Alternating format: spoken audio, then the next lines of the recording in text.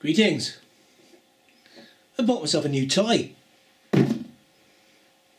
This is a Gigapan Epic 100 robotic camera mount. says so on the box. Let's take a look inside.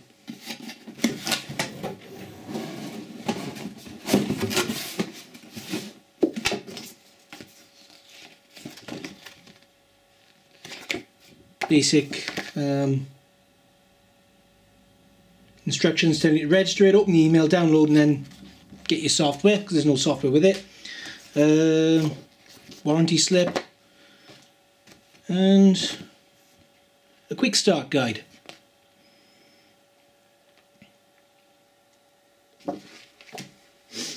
And then lurking behind this piece of cardboard we have the Gigapan itself.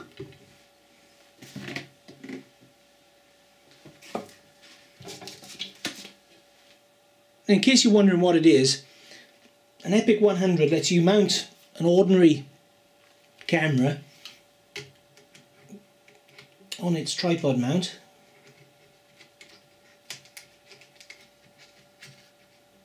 And this will mount on the tripod itself with that. And it can automatically take multiple images to build up a large a large image or a large panorama. If you look at the images which have come back from the Mars rovers, you'll see the way they're all stitched together and this is pretty much what they've got because this was developed between uh, one of the universities, uh, Carnegie I think it is, and NASA. And as I said, you've got your camera mounted on the front. You don't need any special cable. It's just got this robotic button pusher here which automatically you adjust to the right position will automatically press the button on the on the camera. No need for any fancy cables. You've already seen what comes with it just three sheets of A5 if you want the manual you've got to download it and print it out. The odd thing about the manual for the Epic and the Epic 100 is the manual will mention, for example, for instructions on how to shoot a 360 degree panorama, please see chapter 7. This one only goes up to chapter 6. Chapter 7 is in the Pro one, but the instructions for shooting a 360 panorama are in here, so it's just a few things which they've messed up in the PDF. But this basically goes through everything you need to know, all the parts, where the batteries go, how to set it up, because you can see there's an adjuster here which lets you position the camera. There are certain marks here and you've got to pick the right one of these, what they refer to as black numbers, depending on the height of your lens, the centre of your lens from the, the bracket. And you can also slide it back and forth as well to adjust the, the nodal point, the point where everything all meets together. You can adjust that to get that at the correct position so you eliminate parallax error when the camera is panning around. It's all covered in the manual, you just gotta download it and print it.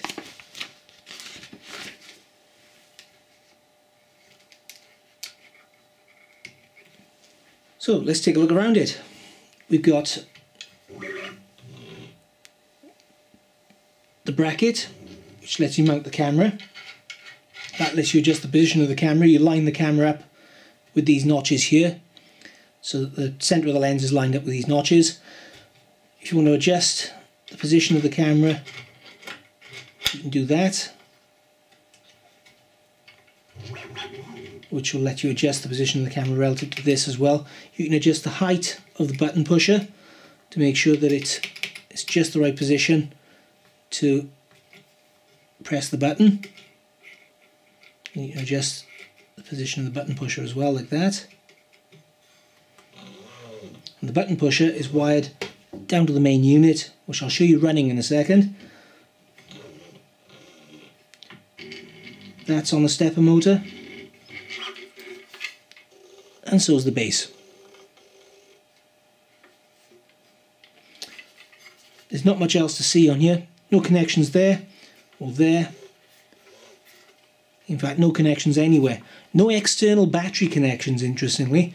It's designed to run purely on six AA batteries which go in this battery case. What I've done is I've bought to go along with this another battery case. And this one I've wired up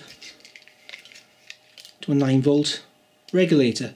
So I can run this from a cigarette lighter socket on a jump starter or a battery like that with a cigarette lighter connection on it. Obviously that ruins the battery connections on this hence me buying a second one. All I've done with this is run the wires straight down along there taped over them and there's a hole at the end that the cable goes through so to convert it to run on 12 volt car battery just take that one out and slot this one in. They're a bit stiff, but there we go. That's clipped in, and now run on 12 volts. It'll run for quite a while on 12 volts as well. Now I've got that fitted, might as well power it up.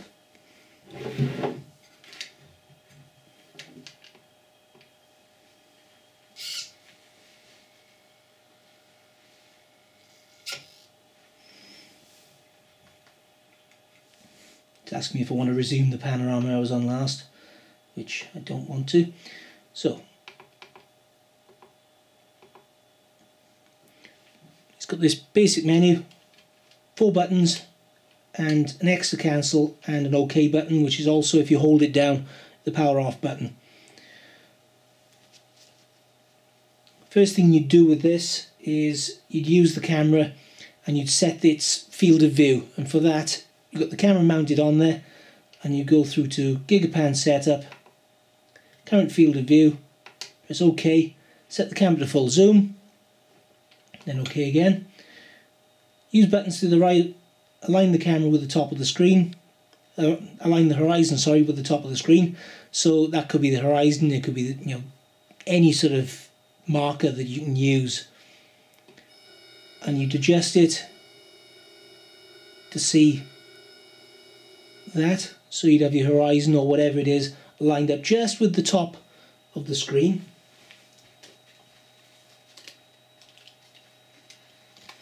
in fact I shall demonstrate that with with the camera here and I'll use the edge of the table there so I'll just line that up just with the top of the screen like that then press OK that's got its reference point. And now I've got to line that same horizon up with the bottom of the screen.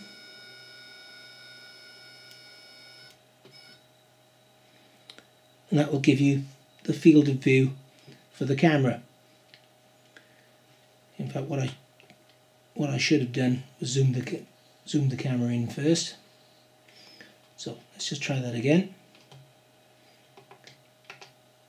Gigapan setup full zoom align the horizon with the top of the lens okay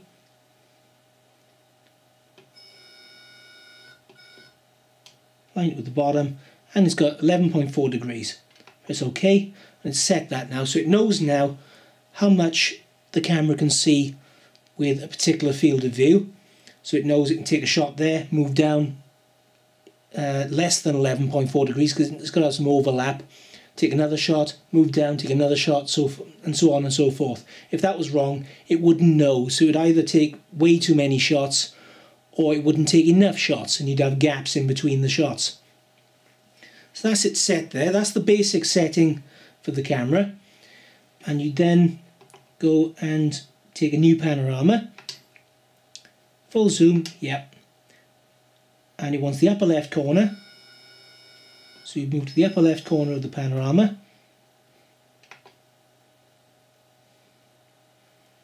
Then it wants the lower right corner.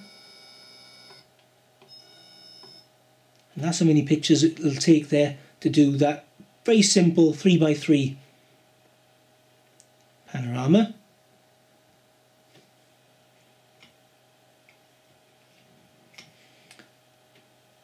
Let's just check. Right. Um, let's just click OK on that. Show the panorama. If I do this, it'll show you, it'll do a little tour of duty now just to go each corner of the panorama so you can check in the viewfinder that you've got everything you want and in fact a little bit more overlap than what you want in the panorama.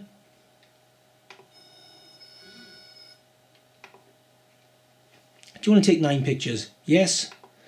Is the camera on? Yes. Is the balance locked?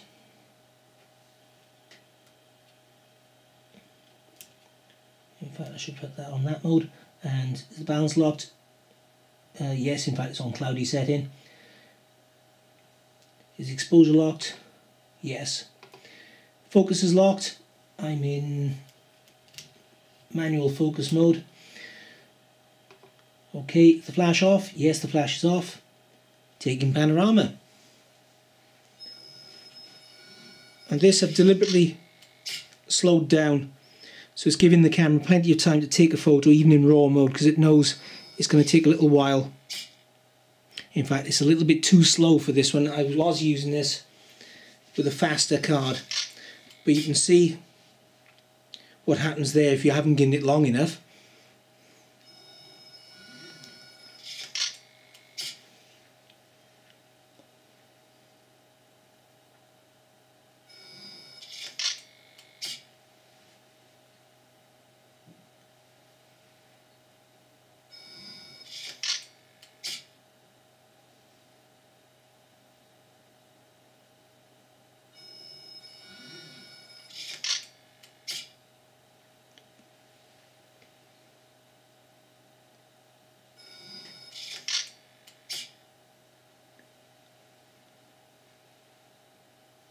Also what I can do here is I can pause that panorama. Oh, in fact it's saying program's done. Press OK. If I go to the last panorama, show the panorama, no, I know which one it is. Oops.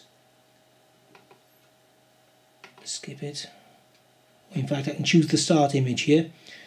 So I can go to number two, which I know I missed just now, and okay, take panorama.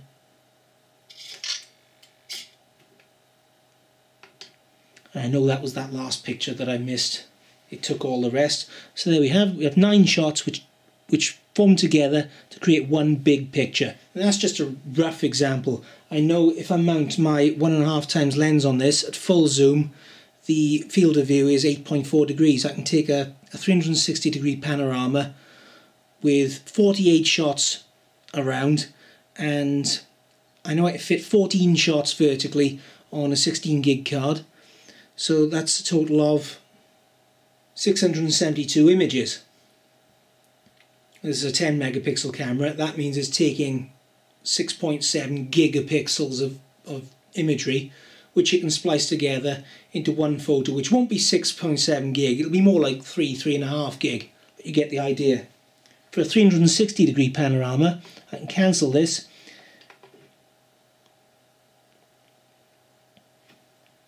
And choose to do a new panorama, no, 360 degree panorama, and for this, it doesn't want the top left and bottom right, all it wants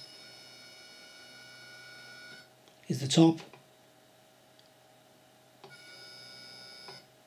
and the bottom.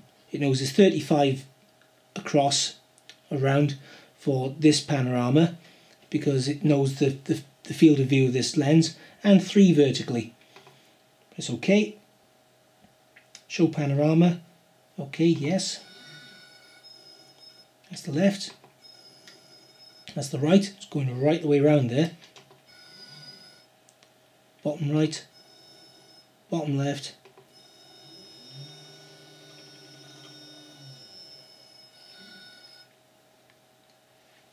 Centre. Do you want to take the shots? Yes. 105 this time. Yes.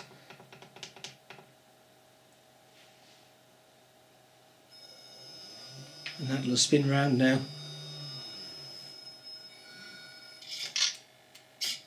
And start taking photos.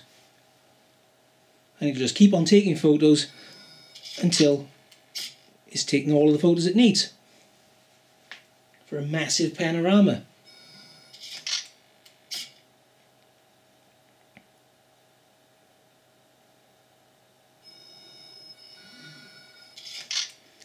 And the good thing about this is that, okay, I've got a 10 megapixel camera on here and I can take 6 gigapixel images with it. Now, what if in a couple of years' time someone says, ah, your 10 megapixel camera, that's pants, that's rubbish.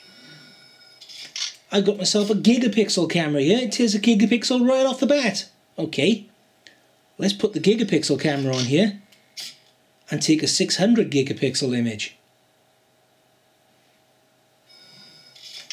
So in that respect, this thing is future-proof.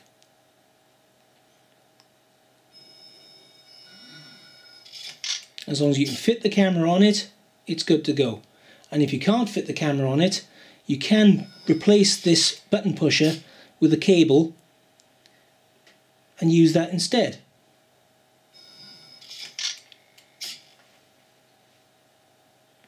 Anyway, that's enough of taking pictures indoors.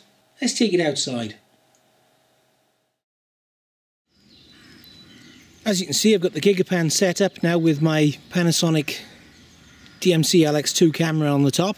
And I've got both camera and Gigapan connected via a pair of voltage regulators to a 12 volt battery. So rather than relying on internal batteries and just run on that 12 amp hour battery there which will last for hours.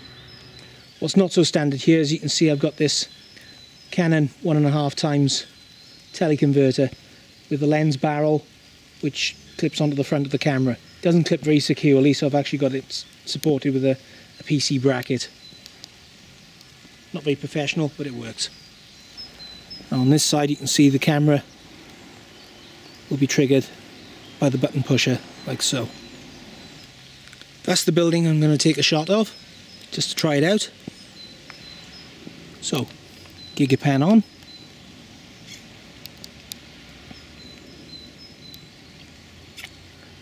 And the first thing I'm going to do actually is I'm going to set the field of view. And to do that, turn the camera on. Let's zoom in all the way in. And we'll use one of these steps as a reference. Okay, set the full zoom, done it. Use buttons to align the horizon with the top of the camera screen. So I'll use one of those steps there and align it the top of the screen, so the very very top edge there along the top. So touch more. That'll do. Okay. Now I set the same set of steps with the bottom of the screen.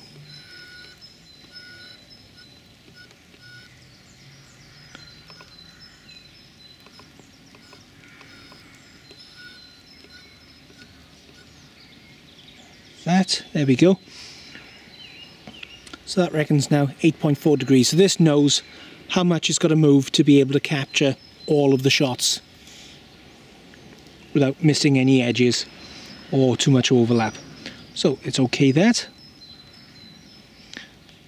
As you can see, the camera's level as well. I've already adjusted the legs on the tripod for that. So we will create a new panorama. Set to full zoom, already done it. So the upper left corner. So let's move that up. In fact, I might as well put this into widescreen mode because with these cameras in RAW mode, they actually take the full frame anyway. Even if you've got it in 4 to 3 mode, it'll still take the entire sensor. So let's get the top corner of the building. Top corner of the frame at least. See if I've got the make sure I've got everything that's going to be in shot. Yeah.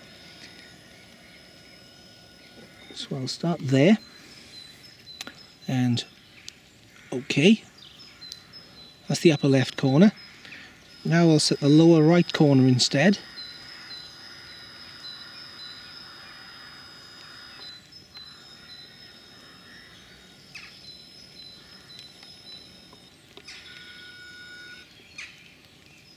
Which I'll have there, there. And you can see now it knows it's going to be 10 picks across, 9 picks down. So 90 photos altogether. 679 spaces available on what is a blank 16 gig card. Show the panorama. At this point I could let it wheel around and it'll show you the, the, the far corners of the panorama. In fact I might as well show you. Let's, let's do this.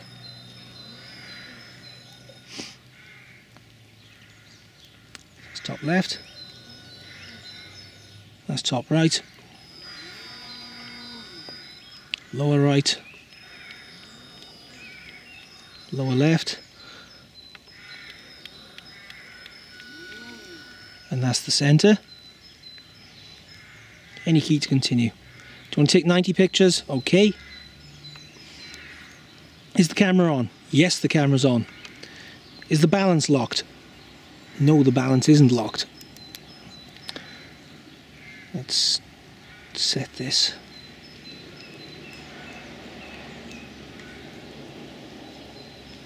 remember how to set the white balance. White balance. Yeah, it's locked. Um, let's lock it for cloudy day, which it is. Seems it's raining. I'll leave the rest as it is.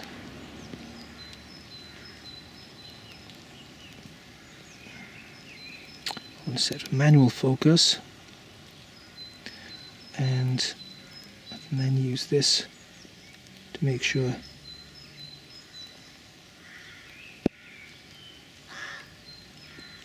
it is in focus. I'll just do a test shot here just to see what it comes out like. That looks okay.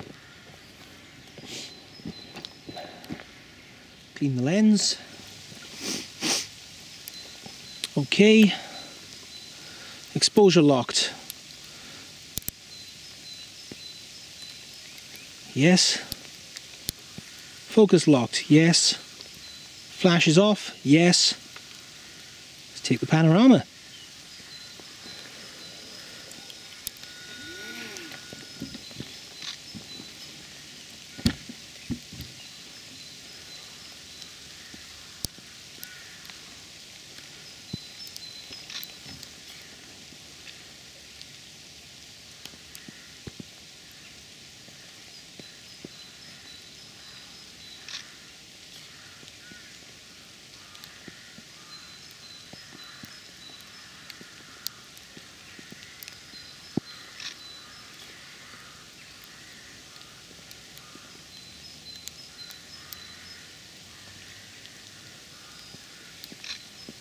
As you can see this appears to be quite a high speed card so I could speed this up if I wanted to. At the moment it's taking 8 seconds between shots. Which gives the camera plenty of time to save the raw image.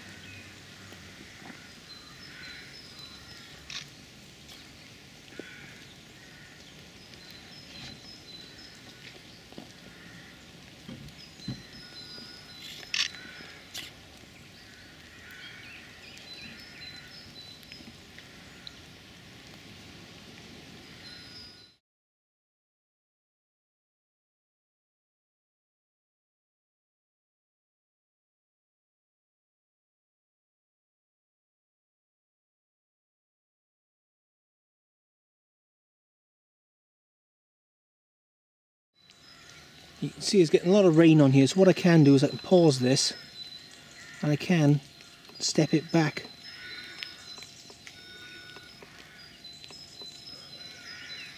through some of the shots and give the lens a clean. And then just carry on.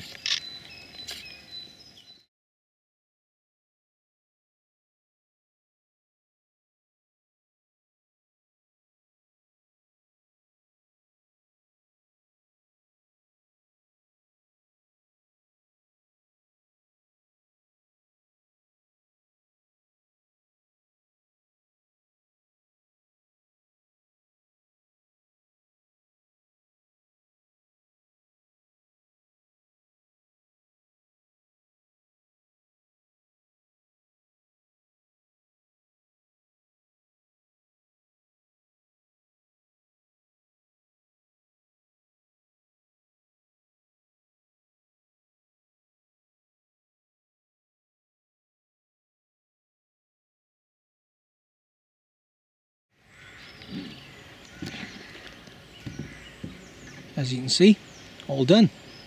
Let's get these back on the computer.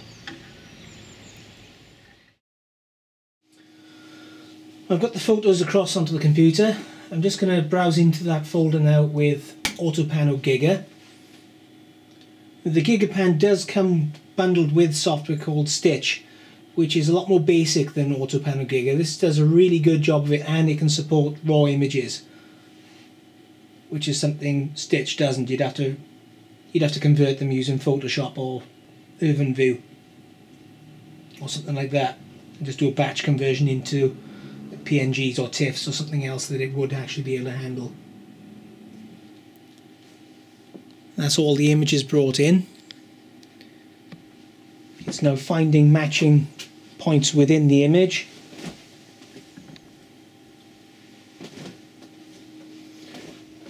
You can see pictures it's brought in. It's created a single panorama from the whole thing. On this monitor here, you can see with the with the pictures all numbered. If I turn off the number editor and just go to there, no, You can see this has got a section of it cropped out. You can adjust the size of the, the cropped out bit. You could render the entire thing right out to the edge, but I've just decided to do this. And here's the finished image. There's a little bit of blurring here because I it looks like I managed to knock the camera when the when the photo was taken then. But all in all, for a first outdoor attempt with the with the GigaPan. I think that's pretty good.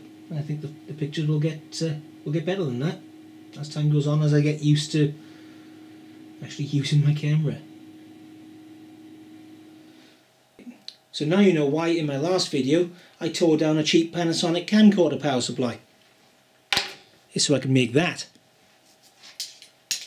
Between that and those I can run the whole lot on 12 volts and it'll run for hours.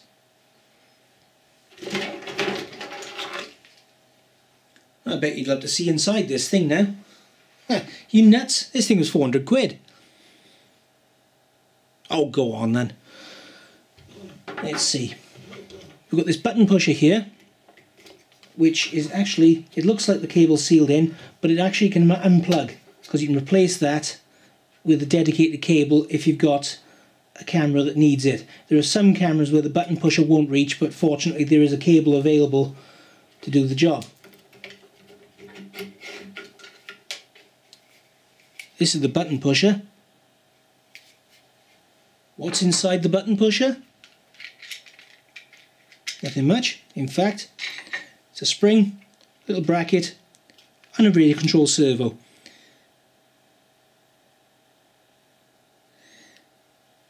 Which is a Hitec HS322HD. So that's how that's controlled, just a standard servo motor.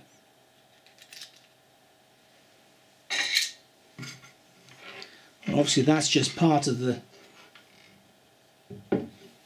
the thing. You've got the button pusher, there's a motor here and there's a motor there and they're controlled by the gubbins just under this lid.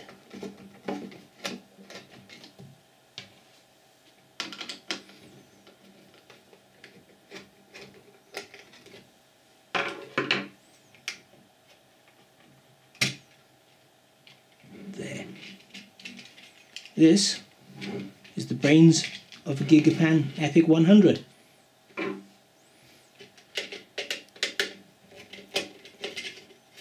It's angled screws. As I say, they're all normal screws on this, by the way. Nothing fancy, no Torx, no System Zero, no pentalobes or tri-wings. They're just standard Phillips screws. Those are the buttons, obviously. Nothing holding them in now, so be careful with that. And here is the board itself.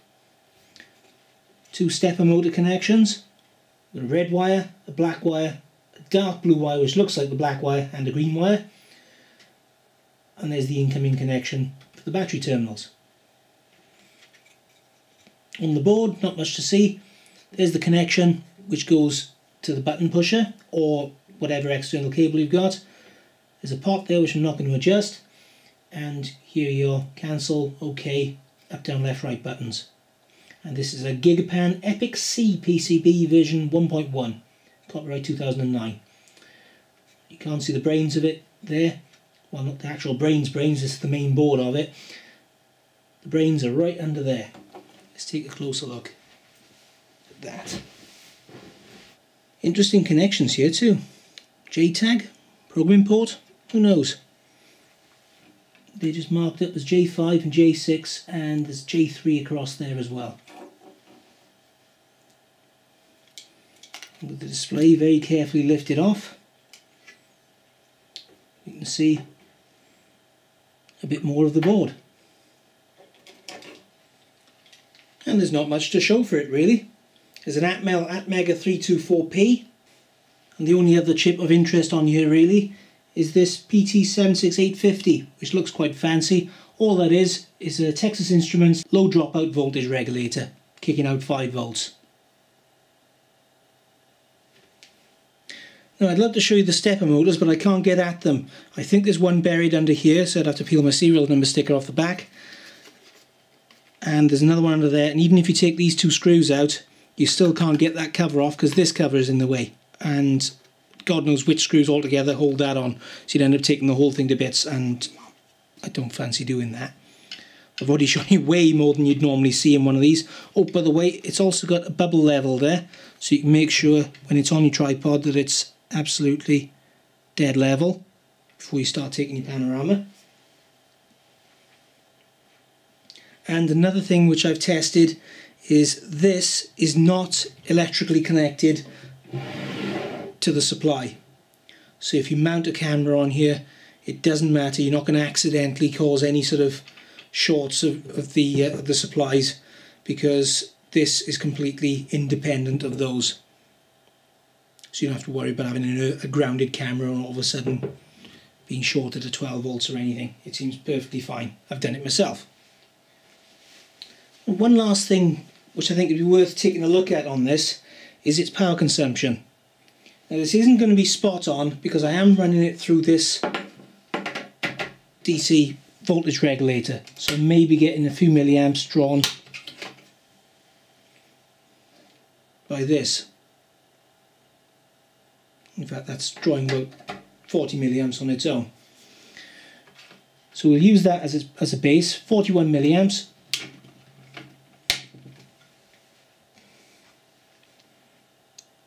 You can see a negligible difference there with the power off. The power on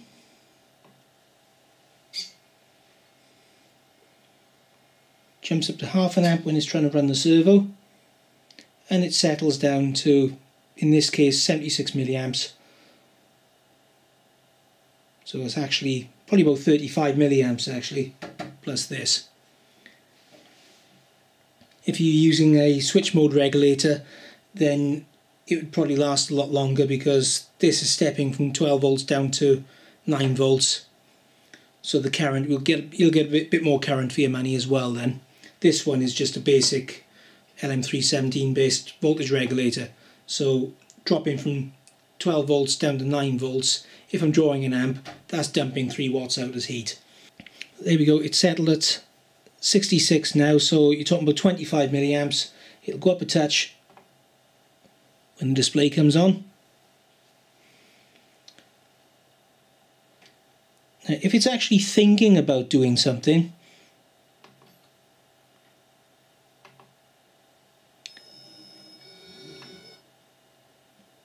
even with it paused like that you can see it's not running the motors. It's pulling about half an amp now. This will give you some idea of how long your batteries will last if you're using um, alkaline batteries or rechargeables in the battery cage rather than using an external battery. So it's pulling about half an amp there in full flow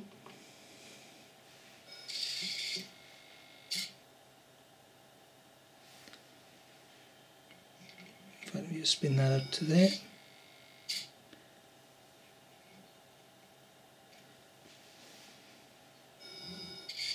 You can see it peaks at about 1.3 amps.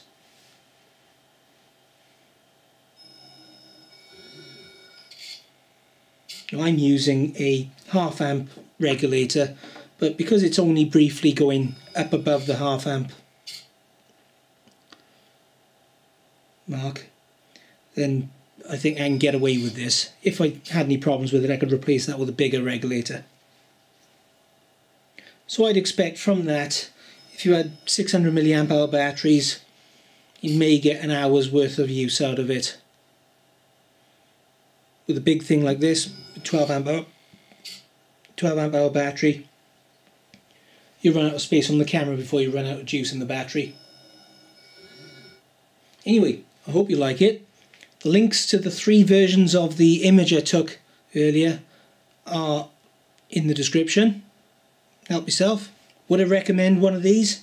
If you're a photographer or if you like taking, especially if you like taking landscape photography, definitely. I mean, unlike a lens, it's not going to be a case of you get a new camera, oh no, I'm going to have to throw this out and get a brand new one, almost the same, just to fit my new camera. No, your new camera, chances are it'll fit right on there. The only reason you'd need a newer Gigapan is if you've got a big camera with a huge lens because there is a weight limit on these and the bigger ones will take I think a 10 pound camera whereas this will take 3 pounds worth of camera and the the Epic rather than the Epic 100 will take I think one and a half pounds of camera. So that's but the only reason you'd need to trade up on one of these. So basically it's something you can you can use and you can keep on using it and it'll still be really useful in years to come. Hope you like it. Thanks for watching. Catch you soon.